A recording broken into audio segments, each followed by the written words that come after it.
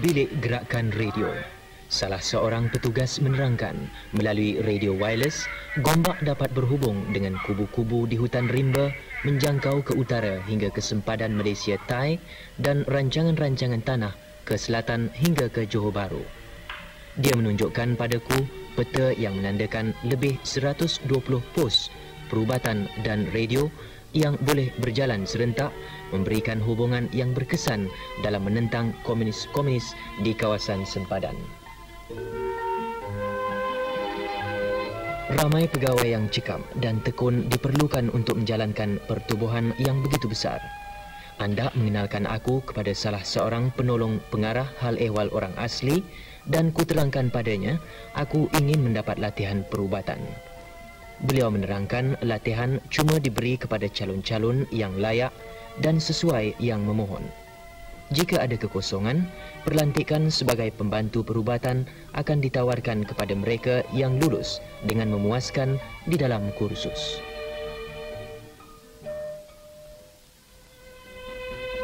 Beberapa hari sahaja selepas aku ditemuduga oleh jemaah pemilih dari Jabatan Orang Asli aku diberikan tempat dalam kursus yang baru bermula di Gombak. Kursus selama enam bulan dan merangkum segenap segi bantuan perubatan di Rimba Raya serta selok-belok pentadbiran Jabatan Hal Ehwal Orang Asli.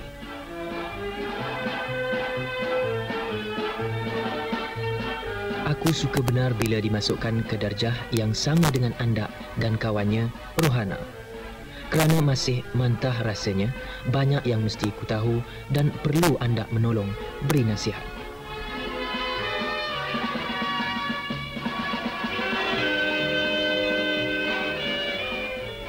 Sementara itu, dengan perhatian rapi doktor-doktor dan kaki tangan, Zainal semakin sihat.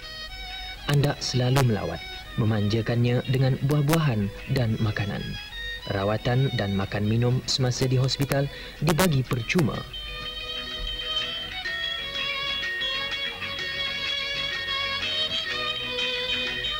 Aku berkawan semakin rapat dengan anda hari demi hari. Semasa tak bekerja, kami melawat tempat-tempat yang menarik seperti bangunan parlimen.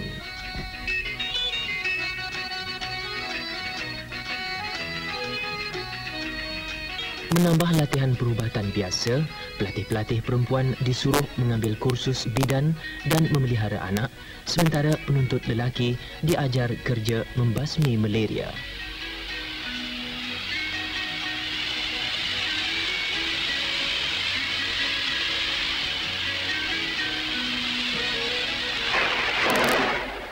Masa cepat berlalu. Tak kira hujan atau panas, aku dan anda selalu datang mendengar syarahan dan membuat kerja-kerja amali. Tak lama kemudian, tibalah masanya untuk membuka balut kepala Zainal. Dia sehat, segar dan penuh semangat.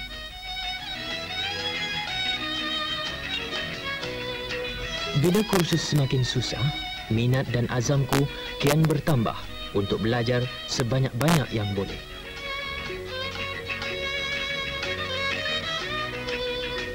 Enam bulan hampir habis. Masa periksa pun tiba. Kami terpaksa ambil periksa bertulis dan membuat ujian-ujian amali.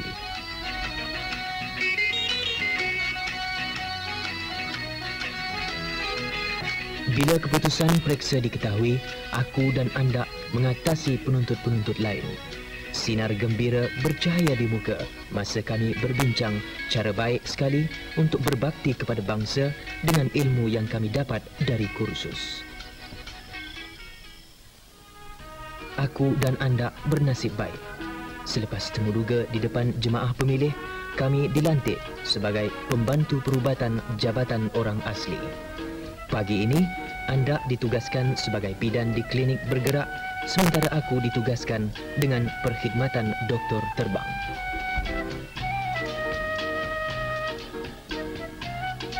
Masa duduk di Gombak, kulihat ramai orang-orang asing bekerja di hospital.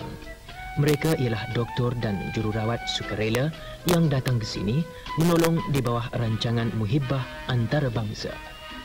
Bantuan dari badan-badan sukarela setempat dan luar negeri ada juga diterima.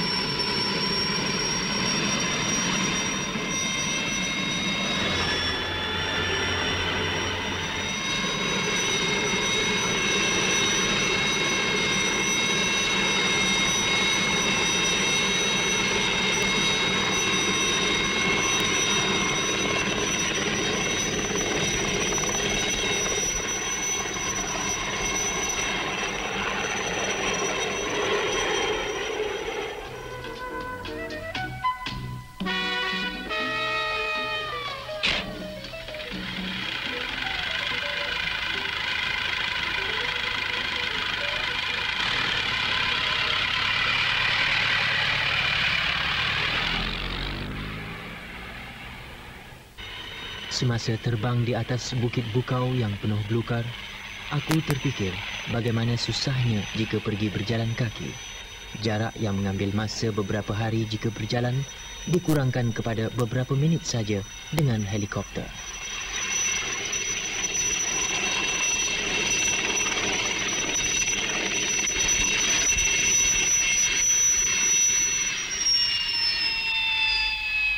Doktor terbang melawat setiap pos ubat sekali sebulan bagi menentukan rawatan untuk mereka yang sakit dan mengawasi kesihatan am orang-orang asli di sekitar kawasan.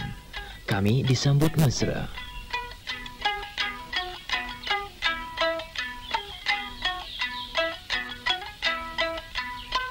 Orang-orang asli dah terima rawatan ubat moden. Sungguh pun tak berapa lama dulu ianya diragukan, tak dipercayai.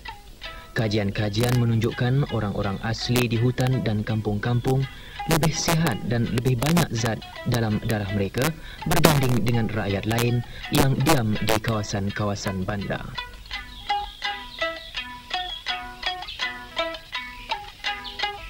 Masa aku sibuk di pos ubat dalam hutan, anda dan klinik bergerak tiba di Kampung Putra, Air Bani.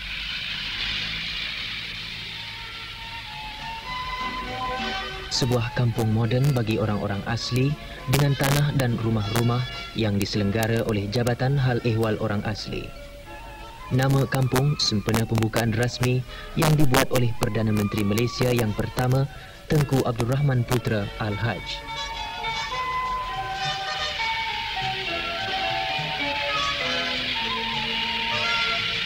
Kebetulan pula klinik gigi bergerak juga berada di Kampung Putra untuk merawat kanak-kanak sekolah di kampung itu. Rohana yang menolong Doktor Gigi mengenalkan Cungah, anak perempuan batin, kepada anda.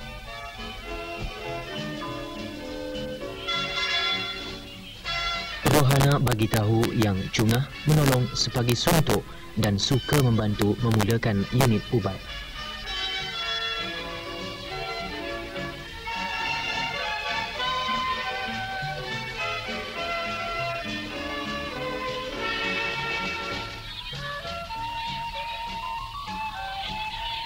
Gigi jabatan melawat semua kampung dan sekolah-sekolah orang asli sekali dalam tiap-tiap enam bulan untuk memeriksa dan merawat jika perlu.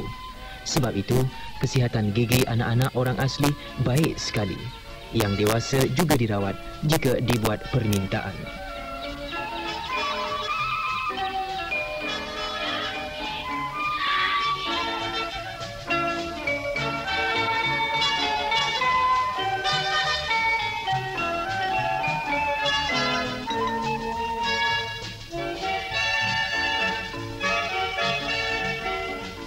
Sebagai tambahan kepada kaki tangan biasa yang melolakan pos perubatan, klinik ubat bergerak melawat kampung-kampung bagi menambah bekalan dan mengambil langkah berjaga-jaga termasuk juga rawatan sebelum beranak.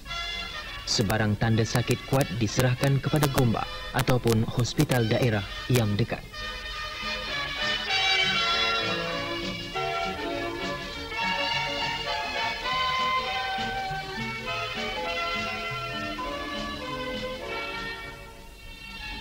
Selepas merawat semua yang sakit di kampung itu, Cungah mengajak anda dan Rohana melawat sawah ladang.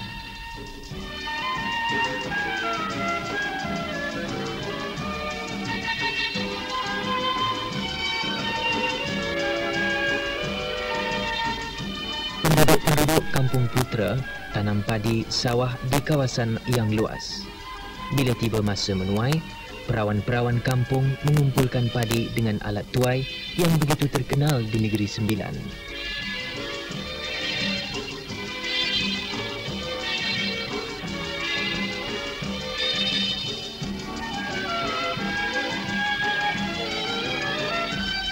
Batin Hasan berjiwa maju. Dengan pimpinannya yang bijaksana, orang-orang kampung rajin bergotong royong bagi meninggikan taraf hidup.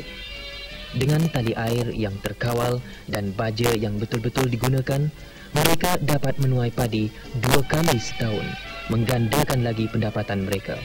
Nampaknya projek-projek yang diberi oleh jabatan diterima dengan baik oleh orang kampung ini.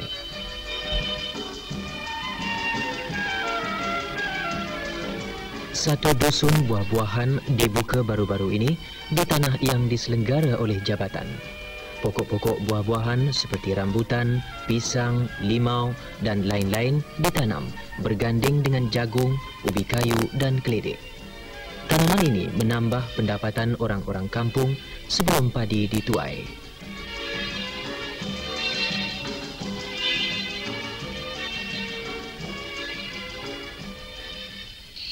Di kampung Putra, hidupnya tenang dan penduduk-penduduknya gembira.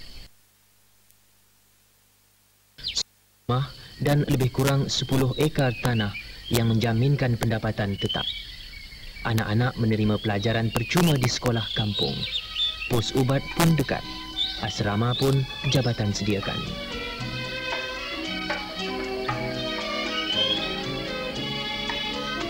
Anda dan Rohana diajak ke rumah batin Hasan untuk makan tengah hari sebelum mereka balik semula ke Hospital Gombak anda tertarik hati dengan banyak ukiran tangan yang ada di rumah itu.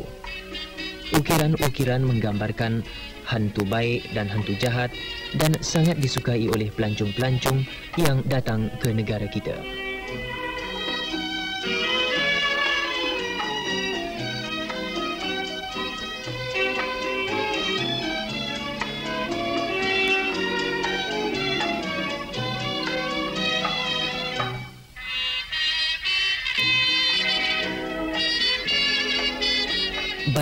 Hasan berminat benar akan kerja anda dan banyak menyoal. Dia cadang nak hantar anak gadisnya, Cungah, bagi mendapatkan latihan supaya dapatlah pula dia menolong hal kebajikan perubatan orang-orang kampungnya.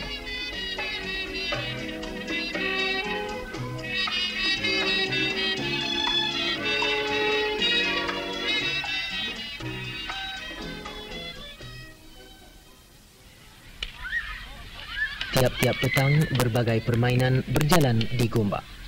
Pegawai-pegawai dan pekerja-pekerja beradu secara kawan menyuburkan muhibah dan persefahaman antara mereka.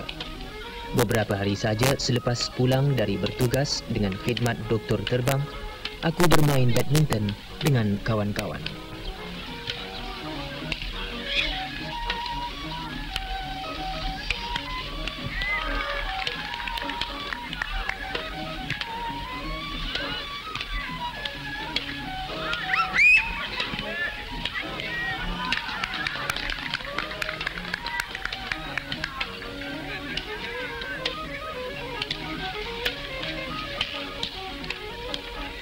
Pegawai yang mengurus memberitahu yang aku akan ditugaskan ke pos ubat Wo dekat kampungku.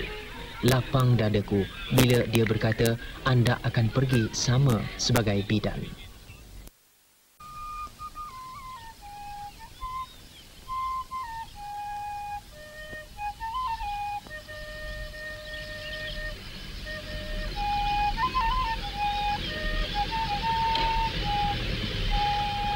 Balik ke kampung selepas lebih enam bulan di Gombak.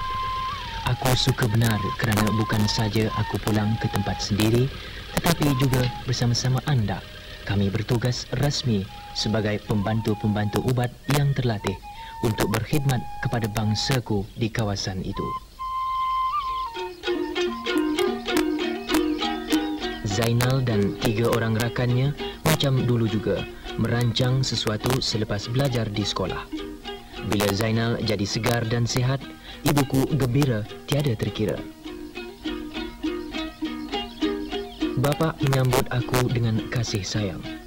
Dia mengangan-angankan seorang menantu masa ku kenalkan anda padanya sebagai kawan rapatku.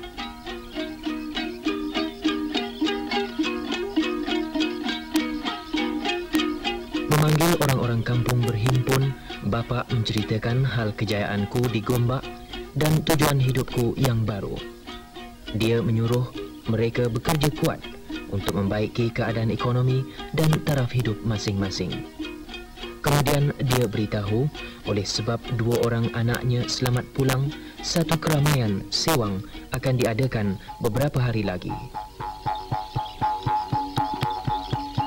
Buluh yang banyak tumbuh di hutan rimba sudah teradat bagai bahan yang sebati dengan cara hidup orang-orang asli.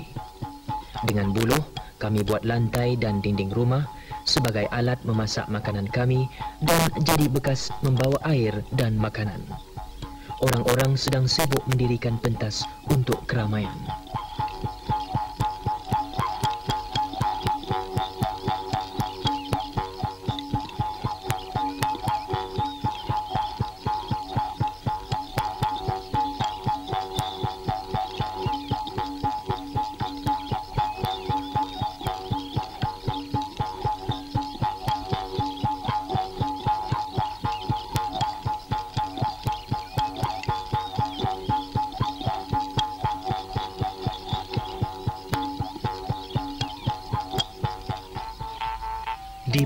Pos ubat wuh, aku dan anda bersama-sama orang-orang kampung bergotong royong membersihkan dispenseri dan kawasan sekelilingnya.